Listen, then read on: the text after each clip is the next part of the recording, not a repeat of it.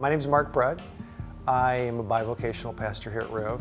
I work predominantly with the MSU venue and then also provide some organizational input from a strategic planning and operational oversight standpoint. Uh, my wife Anita and I moved here from Columbus, Ohio. We initially um, were looking to plant an international church from Columbus, but really wanted to uh, tie into an existing community church that really was uh, around a college campus that would embrace the work we were doing with internationals. Uh, visited East Lansing, loved what they were doing here, uh, met with Steve and Paul at the time, and it just seemed like a really good fit. I see one of the things that I help at RIV is as we continue to grow, creating uh, a structure, systems, and process that guide the growth so we don't lose sight of that mission. I think it's easy for churches when you reach a certain size as your venues grow, as the number of people grow, it's easy to get into uh, maintenance mode versus really are we living and breathing what we say is important to us as a church.